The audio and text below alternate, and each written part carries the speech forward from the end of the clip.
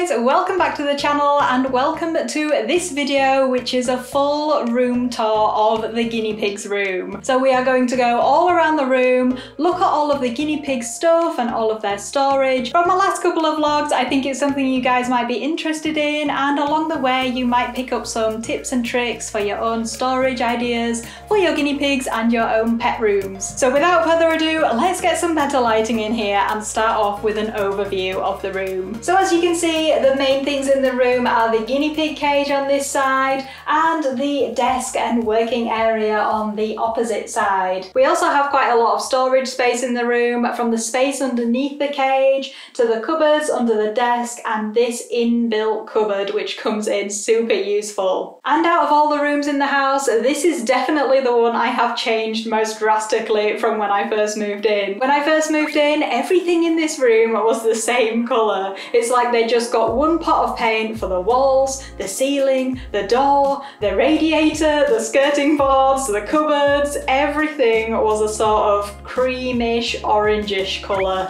and it wasn't very pleasant. It also had a sort of brownish carpet, so I'm sure you can imagine it wasn't the nicest of spaces. So I have redone the entire room and I wanted it to have a sort of relaxing, neutral vibe in here, which also comes through with the items I choose to put in the guinea pig's cage, as well as the other little touches around the room. Now it's not completely finished, you might have noticed the big gouge in the ceiling and the smaller hole in the ceiling. Those are the last things I need to sort out as well as finally putting up the light fitting which has been sat in a cupboard for the last three years. If you follow the channel you might see me eventually doing those things in one of the monthly vlogs. So on that note let's get started with the tour. So we are going to start off on this side of the room and the guinea pig cage. Now I really really love their cage. I've gone through owning pet store cages, C&C cages for a long time and finally this DIY cage which is made from furniture board and plexiglass and it's surprisingly easy to build as well. I just love how open it is, how it has the IKEA storage underneath it and how easy it is for me to clean out and interact and visit the piggies on a day-to-day -day basis. If you are interested in the cage and want to learn more about the materials, the sizes,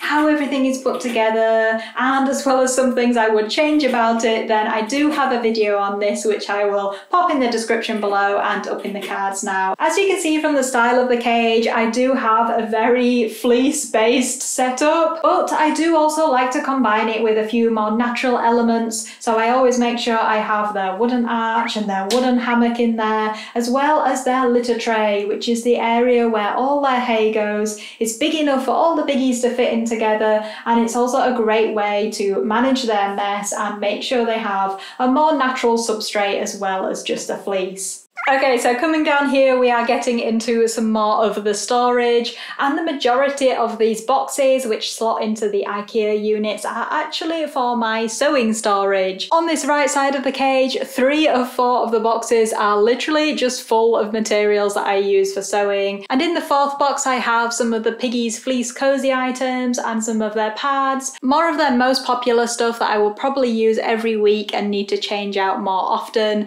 just because it's easier to access when it's here in this box just underneath the cage. Moving on to the other side, the top box at the back is again full of fabrics and the bottom box is just literally full of newspapers and magazines.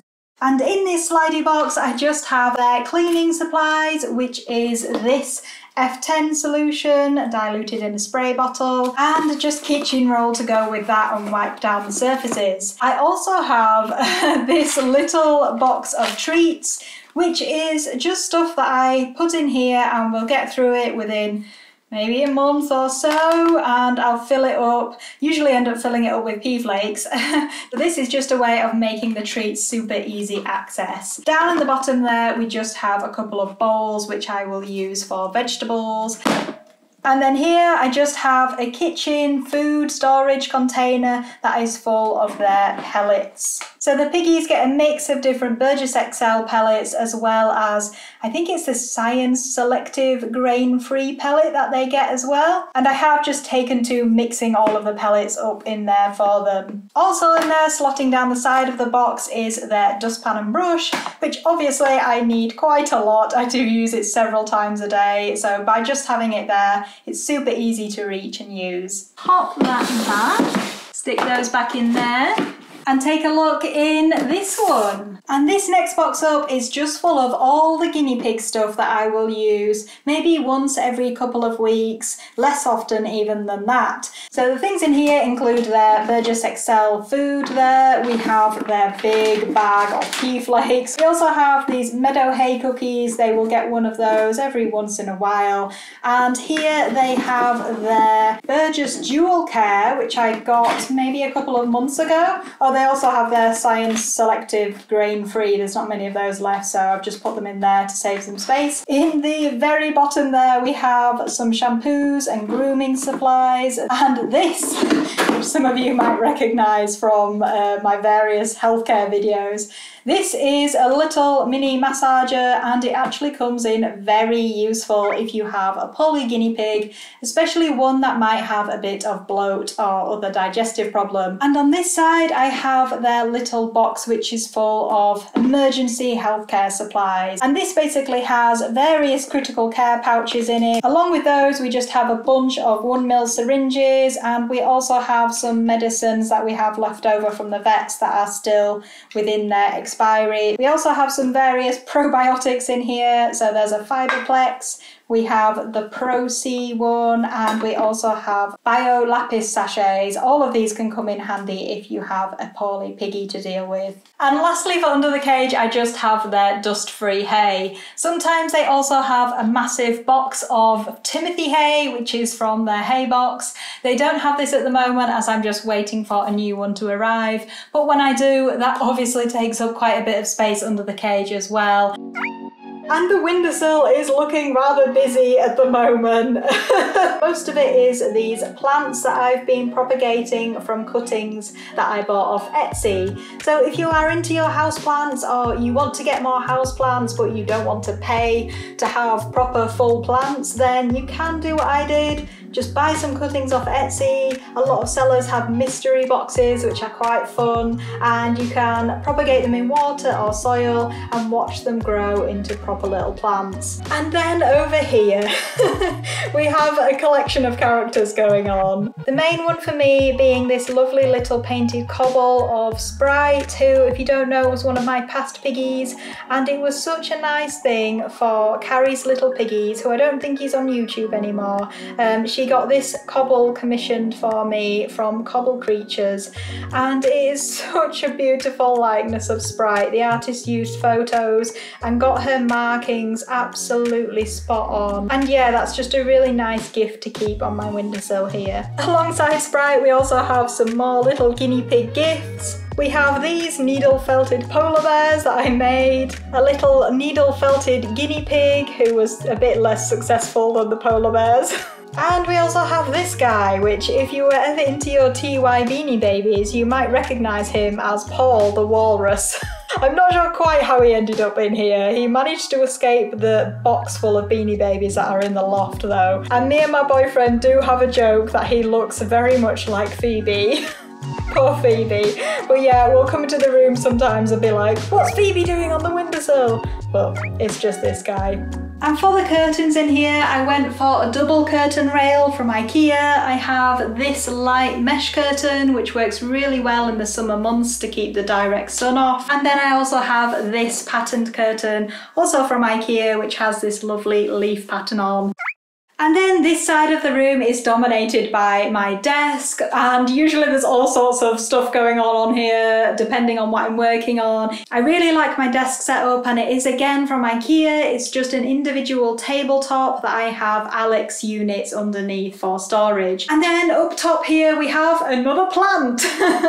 if you're into your plants, this is just a golden pothos which I really love to have trailing down the side of the wall here. I just think it looks super nice and I really like the jungle vibes of having lots of plants in the house. So this shelf, which is high up above the desk, was actually in the room to begin with. I didn't put it there and it's come in so useful for all of my sewing storage. So up here I have things I'm working on currently, things I've finished for my own guinea pigs, as well as a few other products which are finished and I need to put them in the shop. In this little corner is where the air purifier lives. I did talk about this and show you it in use in my last vlog. So it is a fairly recent addition for us and I do use it every day when I'm cleaning out the guinea pigs and for a couple of hours afterwards maybe and I'm sure it definitely improves the air quality in this room. On this little strip of wall in between the cupboard and the desk space we have this lovely guinea pig print.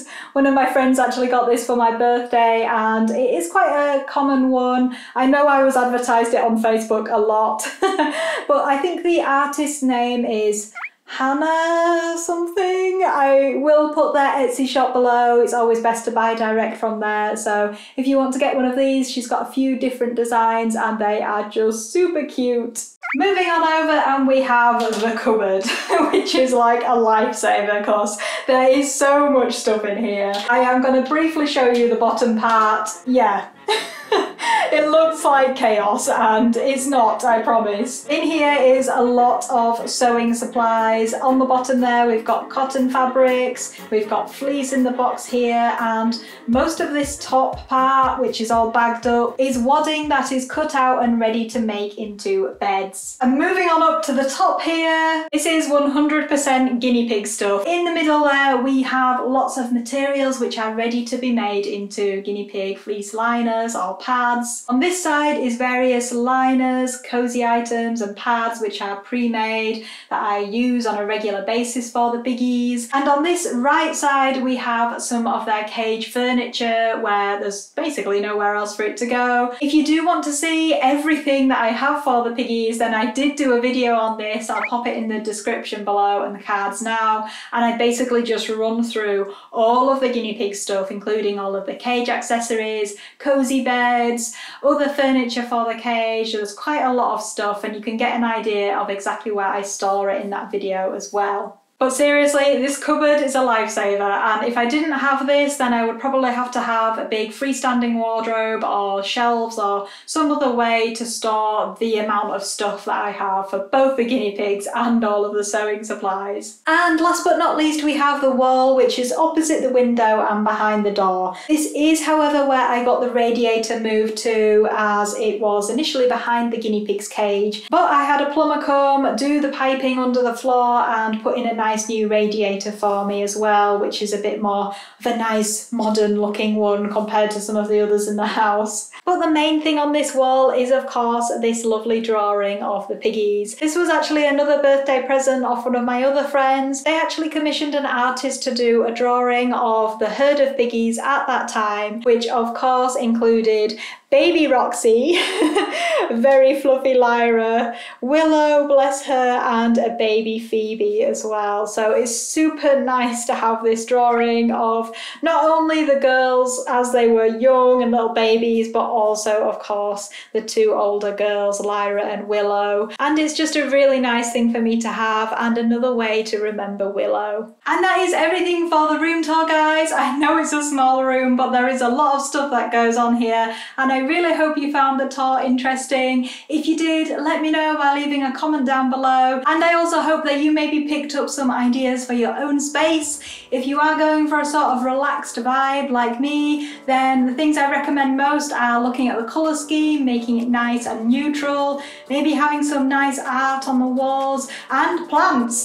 they really do make a space feel more chilled out and relaxed. So that's all for this video guys. I really hope you enjoyed. Please leave us a like and a comment and if you haven't subscribed to the channel then consider subscribing for more guinea pig content. Okay that's all from me for today guys. We'll see you in the next video. Bye bye!